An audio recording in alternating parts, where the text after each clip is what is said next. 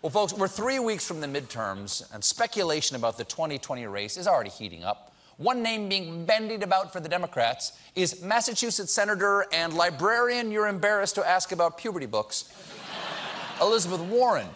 Senator Warren's family has long told stories that they have some Native American heritage. Now, some people don't believe that, and his name is Donald Trump. We have a representative in Congress who they say was here a long time ago. They call her Pocahontas. Let's say I'm running against uh, Pocahontas. Pocahontas? Pocahontas. How about that? Pocahontas, Elizabeth Warren. Pocahontas, Pocahontas. Elizabeth Warren, sometimes referred to affectionately, of course, as Pocahontas. See, it may be racist, but it's affectionate because Trump has great affection for racism. Well, guess what? Guess Lay it what? on the line. Lay it on the line. Guess what? Elizabeth Warren is pushing back by rolling out something she calls a fact squad. You know you're a Democratic Harvard professor when that's the toughest name you could think of. Was Dork Brigade taken? Well, today, the Fact Squad released this video. In the senator's genome, we did find five segments of Native American ancestry with very high confidence, where we believe the error rate is less than one in a thousand. Now, the president likes to call my mom a liar. What do the facts say? The facts suggest that you You absolutely have a Native American ancestor in your pedigree. You heard them right. This test accurately reveals with a high confidence that Elizabeth Warren is running for president. Yeah. Still, right. that we know. That we know. Allegedly. Came back positive. Still, that DNA test video is pretty impressive. The only way it could have been more dramatic is if it were an episode of Maury. I'm going to end this right now.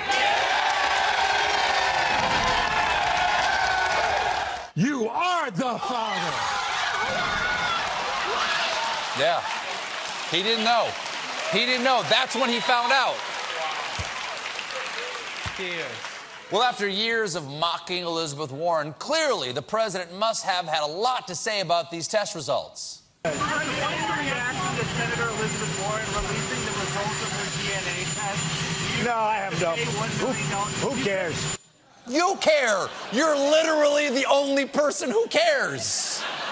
In fact, you cared so much. You once offered a million dollars to charity if Senator Warren proved she was part Native American, a fact reporters reminded you of today. Mr. President, you said you Who cares? one million dollars to charity. I didn't say that. No, I didn't. You better read it again. Oh, we don't have to read it. Luckily enough,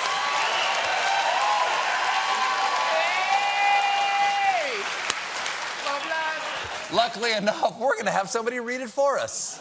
Let's say I'm debating Pocahontas, right? I promise you I'll do this. I will take, you know, those little kits they sell on television for $2? Learn your heritage. We will take that little kit and say, but we have to do it gently. Because we're in the Me Too generation, so we have to be very gentle. Okay, I'm going to stop right there just to point out that Trump went out of his way to stuff a Me Too joke into the middle of his racist tirade. It's like he's making a turducken. That's just all turd.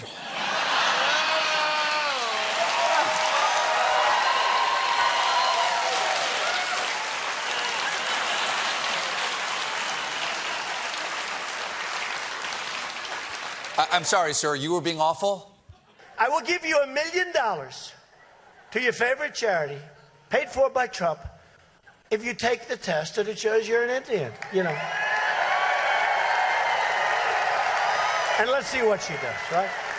I have a feeling she will say no. Well, Mr. President, she didn't say no, she said yes. But rumor has it, you don't know the difference. When, when rumors, just rumors, when confronted about his million dollar pledge this afternoon, he chickened out.